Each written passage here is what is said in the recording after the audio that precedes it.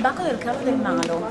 Siamo con Daniele Zoico, eh, un giovane artista che viene, ci viene presentato questa sera alla Fondazione March all'interno di un appuntamento che diventerà un appuntamento poi che ci riporterà anche nel corso del 2012 all'interno della nostra città, Padova. Siamo davanti al Gottino, però questa sera come primo incontro abbiamo appunto Daniele con noi che presenta questo video.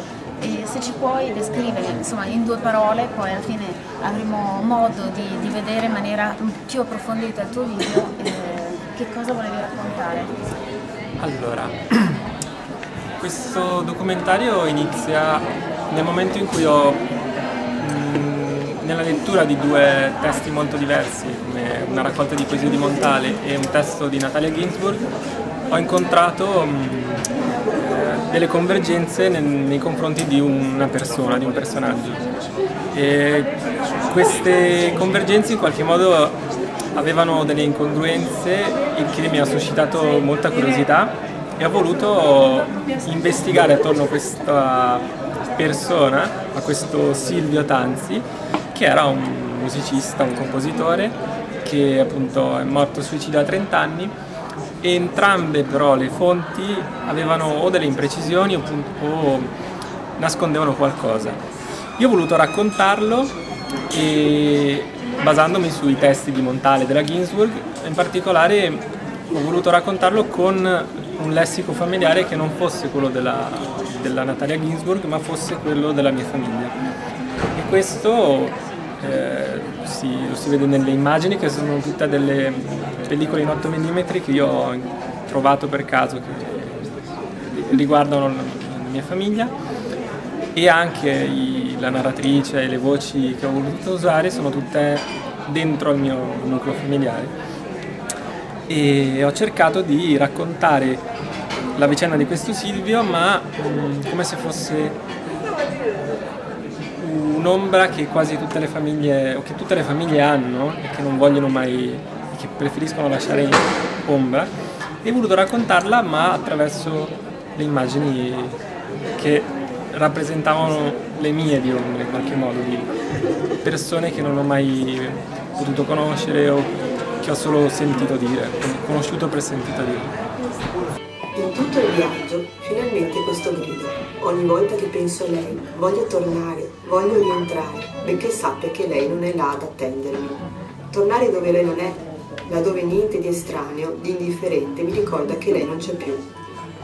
Già qui, dove sono stata così vicina ad una solitudine insopportabile, dove insomma mi sono sentita meglio che in tutti i miei viaggi. Qui, non appena il mondo faceva capolino, mi sentivo meno bene. Scrivere per ricordarsi, non per ricordarmi, ma per combattere la lacerazione dell'oblio, così come si annuncia in quanto assoluta, l'imminente più nessuna traccia, da nessuna parte, di nessuno.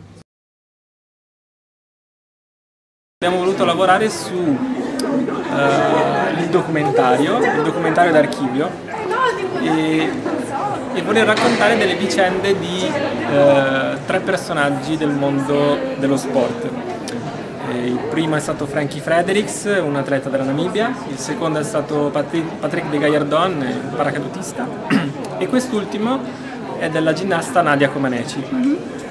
In particolar modo la cosa che ci ha colpito della vicenda di, della Comaneci è stato la realizzazione del, dell'esercizio perfetto, perché appunto come risultato aveva conquistato il 10, è stata la prima nella storia, e, e quindi interrogarci su cosa significasse l'immagine perfetta.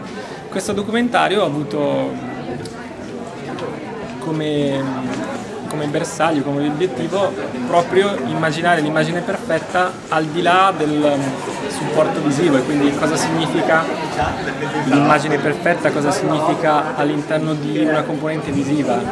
L'essere perfetto e la perfezione. E anche su dei livelli di senso diciamo più filosofici. E abbiamo prodotto questo video che racconta le imprese della Comaneci ma eh, qualche modo è è legato anche alla dimensione del senso della perfezione, quindi si indaga da più punti di vista in qualche modo sulla perfezione, sull'immagine perfetta.